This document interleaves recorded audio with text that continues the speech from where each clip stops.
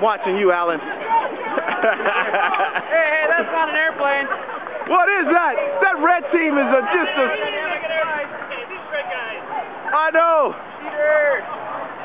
All cheaters. Two? Go, go, go, go.